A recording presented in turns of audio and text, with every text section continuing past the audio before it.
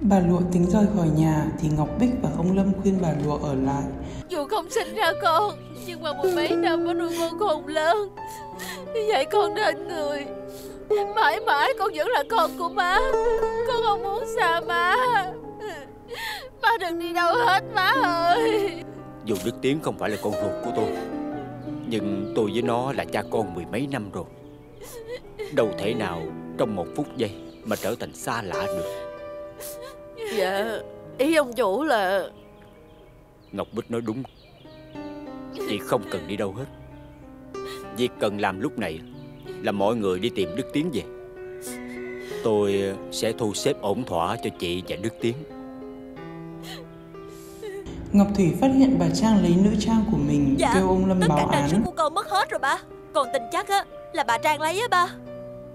Ba ơi Bà đi báo án liền đi ba Không thể nào để cho bà Trang vọng được Trốn thoát dễ dàng như vậy được Ông Lâm bảo không cần làm lớn chuyện vì ông tin trời cao có mắt, rồi họ sẽ phải trả giá cho những tội lỗi mình đã gây ra. Bà nghĩ không cần thiết đâu con Kẻ làm ác Dù có thoát khỏi luật đời Cũng không thể tránh được luật trời đâu con Ngọc Bích đi tìm Đức Tiến khuyên cậu trở về nhà. Ngọc Bích khuyên cậu về gặp má ruột của mình thì cậu mới chịu về.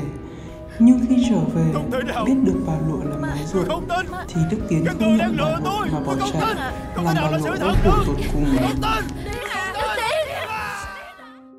Đức Tiến ngồi nhớ lại ngày xưa, lúc đối xử tệ với bà Lụa, khiến cậu cảm thấy mình thật bất hiếu và tệ hại. Đức Tiến quỳ xuống xin bà Lụa cho tha con tội cho mình. Cô là đứa con bất hiếu của má Má tha tội cho con nha má Đức Tiến khó xử muốn bỏ đi, Con định bỏ nhưng đi cả nhà sao? ai cũng muốn cậu ở lại, vì Bà vẫn luôn coi coi cậu con là là con người trai của nhà. ba Nhà này vẫn là nhà của con kia mà Tiến à Chị muốn em biết á Là cho dù chuyện có như thế nào đi nữa Em vẫn sẽ là em của chị Đức Tiến vẫn muốn đi xa vì cậu nghĩ cần phải nhìn lại bản thân. Ba Chị Ngọc Bích Con xin được gửi má con ở lại đây con sẽ đi xa một thời gian Để sám hối lỗi lầm Để sửa đổi chính mình Trước khi đi, bà Lụa dẫn Đức Tiến ra mộ thắp nén hương cho chồng mình. Đến bây giờ, hai cha con mới được nhận mặt nhau. Đức Tiến phiêu bạt lang thang, vô tình được một ông chủ nhà thuốc nhận vào làm học trò. Sau 2 năm, cậu trưởng thành, giỏi giang hơn. Không ngờ ông chủ nhà thuốc chính là người bạn được ông Lâm gửi gắm, lo cho Đức Tiến để cậu trưởng thành hơn. Ngọc Bích thì vẫn ngày đêm mong nhớ chờ đợi Đức Tiến trở về. Ngày trở về, Đức Tiến được vợ chồng Ngọc Thủy trao lại hết tài sản đã được ông Lâm cho.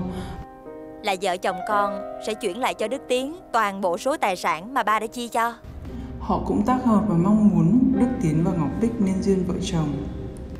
Đúng như ông Lâm nói, luật trời sẽ luôn hiện hữu, những kẻ gây nghiệp chướng trước sau gì cũng phải trả giá cho những gì họ đã gây ra.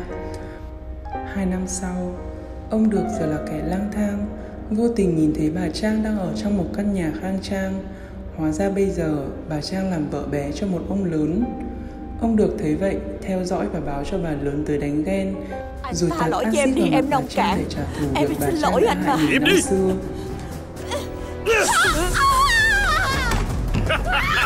Cuối cùng, cả hai người đều phải trả giá và tự gặm nhấm tội lỗi do mình đã gây ra trong suốt quãng đời còn lại. Cảm ơn các bạn đã theo dõi bộ phim Luật Trời do công ty M&T Pictures sản xuất.